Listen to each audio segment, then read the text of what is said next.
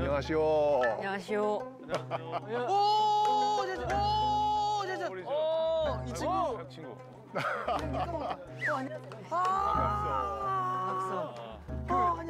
아니 우리 그 꼬마 도령은 좀 눈에 익소. 강훈이잖아, 강훈. 강훈, 저기 어. 병재랑 그 이거 카트 대결 맨날 하는 친구. 어, 강훈이가 누구죠? 강훈이가 누구죠? 너잖아, 너. 너가 강훈이잖아. 너 마우스 나오는 강훈이 아니야? 마우스가 뭐죠?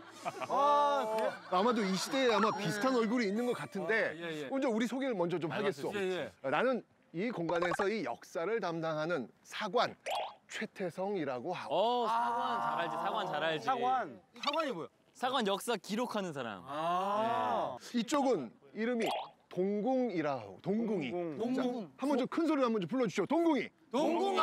아 좋소. 이 동궁인데 아마 이 곳을 가장 잘하는 아마 많은 것을 알려주는 그런 오늘 하루의 가이드가 될 것이오. 그대들이 사부 아니요? 아 사실은 우리가 사부는 아니고 아, 진짜요?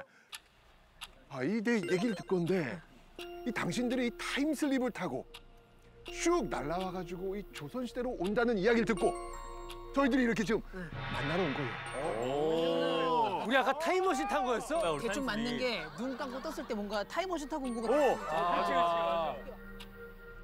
그거였구나 오늘 사부를 우리 동궁이가 한번 소개시켜 주시죠.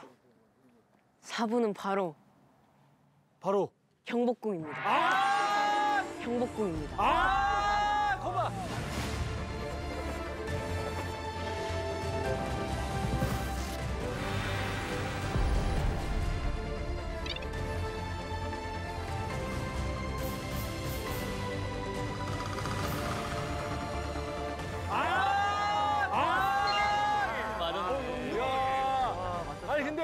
근데 경복궁이 사부라고 하는 순간 너무 기분 좋다. 설렌다. 대박이 대박이다 아니 어떻게. 예전에 집사부 일체에서 어떻게 사람이 아닌 이런 건물이 사부인 적이 있었어? 아니, 한한 번도 없어. 최초요. 예, 예, 최초인데 최고의 사부인 것 같아. 경복궁 사부를 만나러 왔으니 예. 이곳을 돌아보면서 이 동궁회를 통해 가지고 정말 그 경복궁의 희로의 락을 좀 하나씩 하나씩 느껴갔으면 좋을 것 아, 같은데 좋소. 너무 좋아, 너무 좋아. 그래서 오늘은 집사부 일체가 아니라 궁사부 일체 와, 재밌겠다. 재밌겠다, 재밌겠다. 어.